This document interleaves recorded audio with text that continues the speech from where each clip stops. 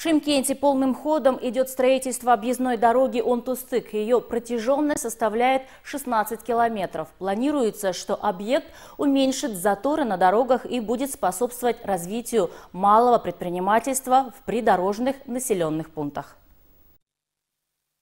Сейчас активно ведется работа дорожников на части объездной дороги, которая охватывает участок от Ленгерского шоссе до автодороги областного значения КХ-15. По проекту ширина трассы составит 9 метров. На пересечении дороги Шимкент-Ташкент построен мост, подготовлено земляное основание для магистрали. Стремительное развитие Шимкента как третьего мегаполиса страны в первую очередь подразумевает максимальное развитие дорожной инфраструктуры. Поэтому одним из важнейших вопросов для города является качество дорог и безопасность движения транспорта транспорта.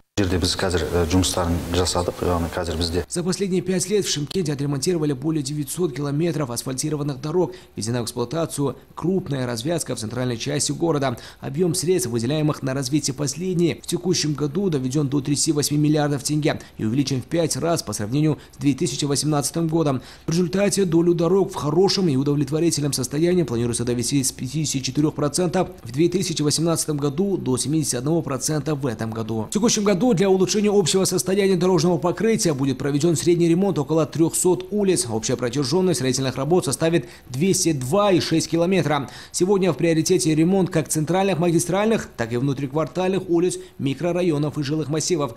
Добавим, Шимкент является одним из лидирующих в стране по количеству автотранспорта. Общая протяженность городских дорог составляет 3248 километров. Юрнур Бабиев, Диана Абляза из новости.